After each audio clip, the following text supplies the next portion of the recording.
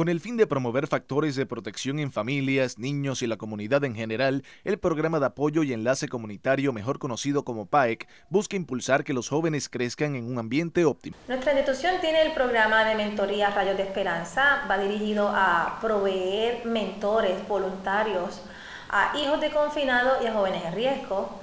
Tenemos el programa y proyecto de tutorías para promover mejor destrezas académicas de nuestros estudiantes. Tenemos el proyecto para fomentar mejores destrezas eh, en la familia a través del proyecto Fortalecimiento Familiar.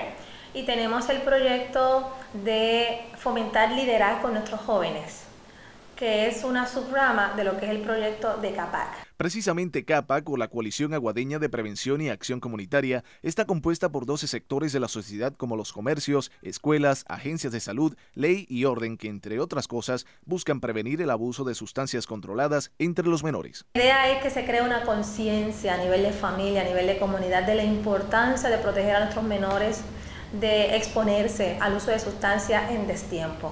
Eh, el alcohol no es para menores, el tabaco no es para menores Todas son drogas ilícitas o ilícitas que hacen daño al cuerpo, que afectan el desarrollo positivo de un menor